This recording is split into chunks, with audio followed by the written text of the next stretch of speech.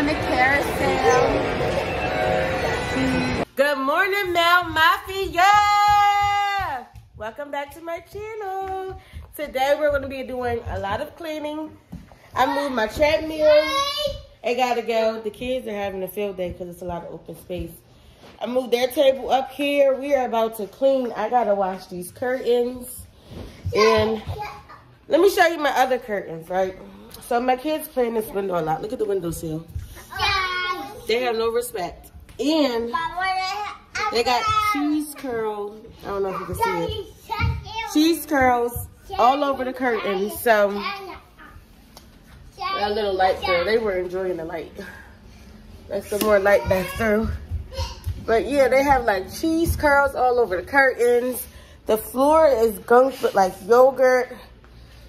And I don't operate that way. The walls have cheese curls and crayon print all over it. It's a mess. It's a mess. And I can't operate this way. I can't live this way.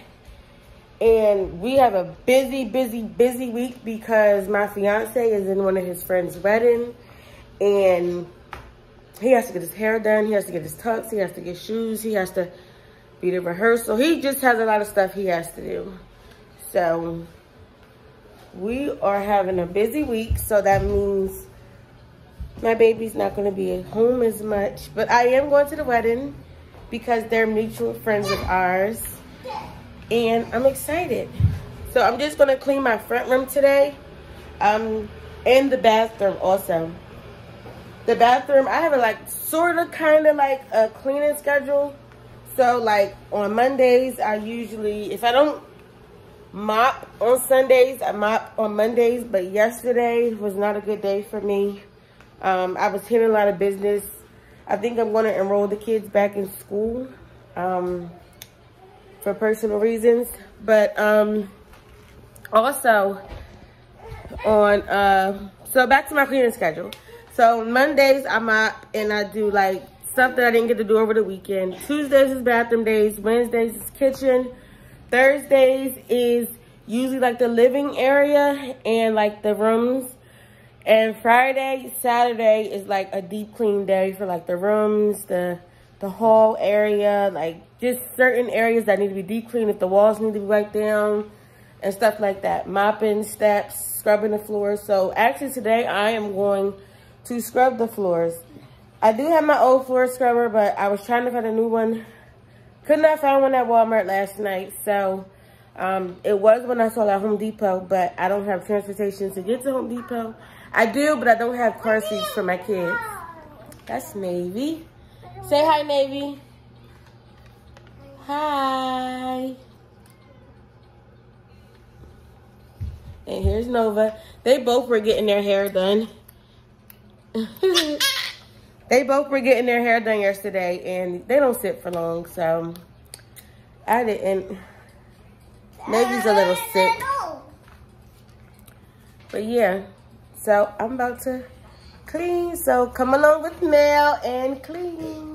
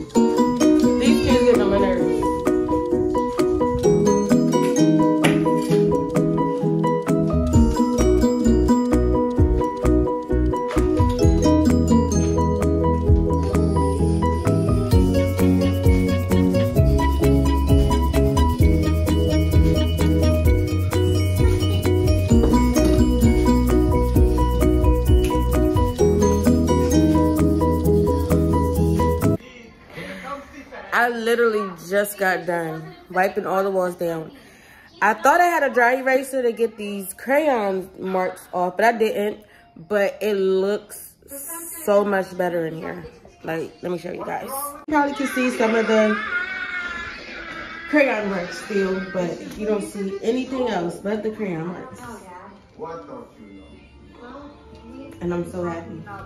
That's all you see is the crayon marks. Took off all the, well not all, just these two because they were dirty. That one has a hole in it.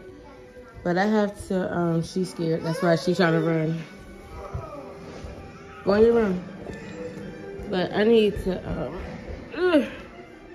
this is why I don't let them on the couch when there's no cushions on because they got a hole in the couch. It's a hole in the couch. Say hole in. But I'm about to vacuum this under here.